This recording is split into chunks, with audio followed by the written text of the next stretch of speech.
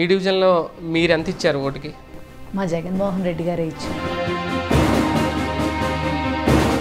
రాజకీయాల్లోకి పదవులు ఆశించకుండా వచ్చే నాయకులు ఉంటారు ప్రజాసేవ చేసి పదవుల కోసమే వచ్చే రాజకీయ నాయకులు ఉంటారు బండి పుణ్యశీల గారిని ఏ కేటగిరీలో చూడాలి?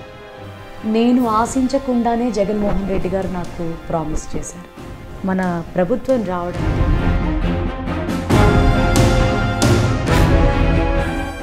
జగన్మోహన్ రెడ్డి గారిని ఎప్పుడు కలిశారు మీరు? ఫస్ట్ టైం కలిసినప్పుడు ఏమనిపించింది? ఆయన చూడగానే.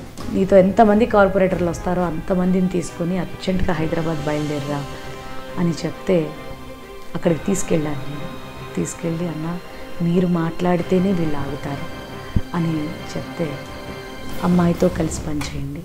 ముప్పై సంవత్సరాల భవిష్యత్తు మీకు చూపిస్తా అని చెప్పని కార్పొరేటర్స్కి మాట ఇచ్చారు చాలా సంతోషంగా మేము బయటకు వచ్చాము రాజకీయాల్లో ఇబ్బందులు ఒడిదుడుకులు మెయిన్ పార్ట్ కీ రోల్ పోషిస్తాయి. అవే నాయకుడిని ఎక్కడికైనా తీసుకెళ్తాయి ఎంత లోతుకైనా తొక్కేస్తాయి. అటువంటి సందర్భం ఈ జర్నీలో మీకు ఏమన్నా కనిపించింది? నాకంటూ పుణ్యశీల మీద రిపోర్ట్ ఉంది. ఆ అమ్మాయి చక్కగా పనిచేస్తుంది. మీరు వీలైతే ఆ అమ్మాయితో సహకరించి ముందుకు పోండి. మీకు అందరికీ మంచి భవిష్యత్తు నేను చూపిస్తాను లేకపోతే మౌనంగా ఉండండి. అంతేగాని ఆ అమ్మాయిని డిస్టర్బ్ చేయొద్దని చెప్పి. అప్పుడు ప్రతిపక్షంలో ఉంది మీ పార్టీ. అలాంటి టైంలో ఎందుకు ఆఫర్ను వదులుకున్నారు? నేను వైఎస్ఆర్సీపీలో నిలబడ్డాను. జగన్మోహన్ రెడ్డి గారు రాజశేఖర రెడ్డి గారి చరిష్మాతో నేను గెలిచాను. టీడీపీకి ఎలా వెళ్తాను? ఈ పార్టీలోనే ఎదుగుతాను. ఈ పార్టీలోనే ఉంటాను. లేదు భవిష్యత్తులో ఎప్పుడైనా ఏదైనా నేను ఆగిపోవాల్సిన పరిస్థితి ఎప్పుడైనా వస్తే వైఎస్ఆర్సీపీలోంచి చాలా గౌరవప్రదంగా ఆగిపోతాను తప్ప.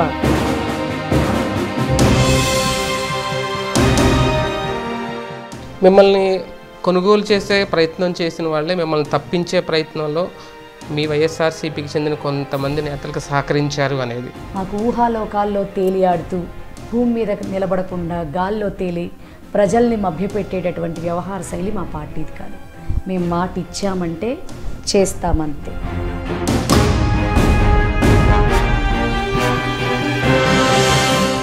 దాదాపు తొమ్మిదేళ్ళ రాజకీయ అనుభవం తొమ్మిదేళ్ళ రాజకీయ ప్రస్థానం. ఒకసారి వెనక్కి తిరిగి చూసుకుంటే ఏమనిపిస్తాం రాష్ట్ర వ్యాప్తంగా కూడా విజయ విజయవాడలో ఒక అమ్మాయి ఉంది అని ఎక్కడో ఒక్కడ ఎవరో ఒకళ్ళు గుర్తిస్తున్నారంటే అది నిజంగా జగన్మోహన్ రెడ్డి గారి వల్ల.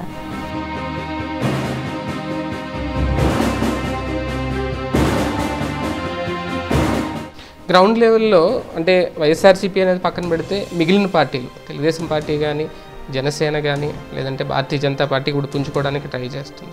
ఏ పార్టీ నుంచి మీరు ఎక్కువ ఒత్తిడి ఫీల్ అయ్యారు? ఎక్కువ ప్రెజర్ వచ్చింది? ఎన్నికల్లో బరిలో ఉంది కానీ జనసేన రాష్ట్రంలో గుర్తింపు లేని పార్టీ కాబట్టి తనకి విప్ జారీ చేసే రైట్ కూడా లేదని చెప్పని ఎస్ఈసి స్పష్టం చేయడం జరిగింది. అటువంటి పార్టీతో టఫ్ ఫైట్ అనుకోవటం అనేది నిజంగా దురదృష్టకరం.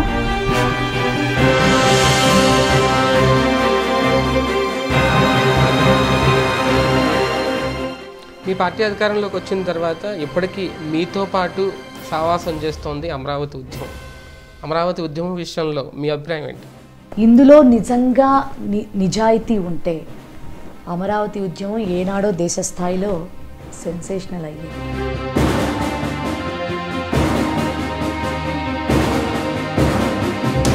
మున్సిపల్ ఎన్నికలకు ముందు వైఎస్ఆర్సీపీ భయపెట్టడం ప్రలోభ పెట్టడం కొన్ని చోట్ల అపహరించడం అభ్యర్థుల్ని. చేసింది అనేది. ప్రజలకి తను ఏం చేయాలి అనుకుంటున్నాడో అది మాత్రమే చేస్తూ పక్క వాళ్ళు ఎంత నీచంగా మాట్లాడుకుంటున్నా కూడా అసలు ఇంత కూడా పట్టించుకోకుండా సేవ చేస్తూ ముందుకు పోతున్నటువంటి వ్యక్తి జగన్మోహన్ రెడ్డి.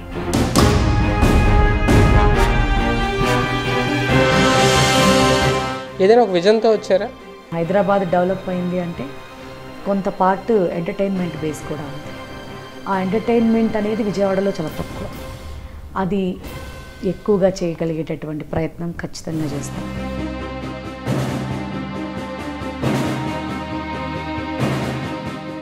కానీ ఆలయాల మీద దాడులు జరుగుతున్నాయి ఎందుకు పట్టించుకోలేదు? ఎందుకు ఇప్పటి వరకు దానికి సంబంధించి ఒక వ్యక్తిని కూడా అరెస్ట్ చేయలేదు? బీజేపీకి సంబంధించి సోము వీర్రాజు గారు ఎప్పుడైతే రాష్ట్ర అధ్యక్షుడిగా అరంగేట్రం చేశారో మీరు మీరు చూస్తే ఆ తర్వాత నుంచే ఇవన్నీ మొదలైంది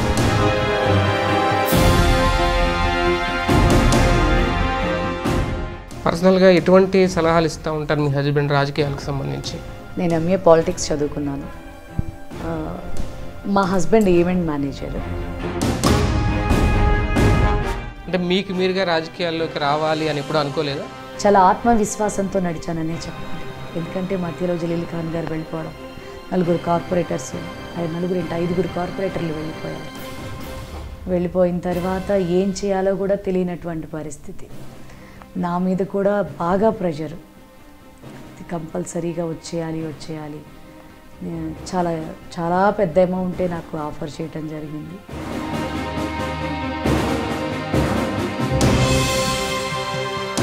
అంటే మీ స్టడీస్కి ఇప్పుడున్న పాలిటిక్స్కి ఏమైనా సంబంధం ఉందా? అంటారు కదా ప్రతి మగవాడి వెనకాల ఒక స్త్రీ ఉంటుంది అని. కానీ నేను చాలా గొప్పగా చెప్తానండి.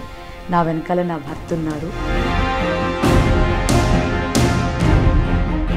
ఒక మహిళగా ఇంత స్ట్రగుల్స్ అవసరమా అదే బెటర్ ఆ కెరీరే బెటర్ ఎప్పుడైనా అనిపించింది?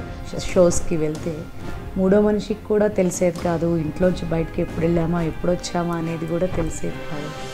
ప్రజాసేవ చేయటం కోసం ఒక మంచి ఉద్దేశ్యంతో మనం ఇందులోకి వచ్చాం. కానీ అన్యాయంగా మనం ఎందుకు మాటలు అనిపించుకోవాల్సి వస్తుంది? ఇది మన అవసరం.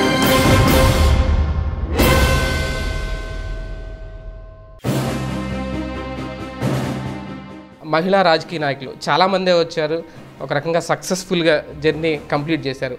వాళ్ళల్లో ఎవరినైనా మీరు ఇన్స్పిరేషన్గా తీసుకొని రాజకీయాల్లోకి రావడం జరిగింది? నాన్న చనిపోయిన తర్వాతే కొన్ని రెస్పాన్సిబిలిటీస్ మీద పడటం వల్ల ఈవెంట్స్కి రావటం జరిగింది. అక్కడ మా హస్బెండ్తో పరిచయం మాది ఇంటర్ క్యాస్ట్ మ్యారేజ్ కూడా లవ్ మ్యారేజ్ కూడా.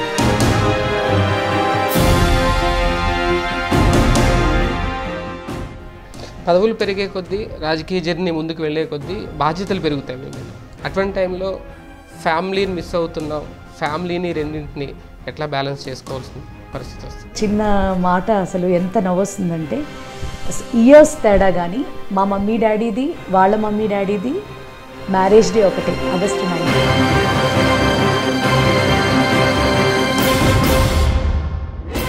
రాజకీయాలకు వచ్చిన తర్వాత చాలా ఆరోపణలు ఉంటాయి ఎక్కువ. విమ- విమర్శలు ఉంటాయి అన్నిటికన్నా. ప్రతిదీ తీసుకోవాలి. అటువంటి సందర్భం ఎదురైనప్పుడు మీకు ఏమనిపించింది ఇదే ఇదిలో నా పిల్లలు చిన్న పిల్లలు అయితే డెఫినెట్గా నేను నా పిల్లల్ని గవర్నమెంట్ నేను గవర్నమెంట్ స్కూల్లోనే చదువుకున్నాను. నా పిల్లల్ని కూడా జగన్మోహన్ రెడ్డి గారు గవర్నమెంట్ స్కూల్లోనే చదివించేదాన్ని నిజంగా వైఎస్ఆర్సీపీ స్థాపించక ముందు ఏదైనా పొలిటికల్ బ్యాక్గ్రౌండ్ ఉందా? నేను పెద్దగా సంగీతం నేర్చుకుంది కూడా ఏం లేదు.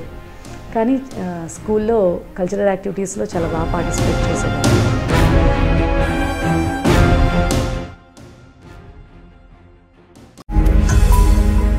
ఈ వీడియో గనక మీకు నచ్చినట్లయితే లైక్ చేయండి షేర్ చేయండి. మరిన్ని వీడియోస్ కోసం మా ఛానల్ను సబ్స్క్రైబ్ చేయండి.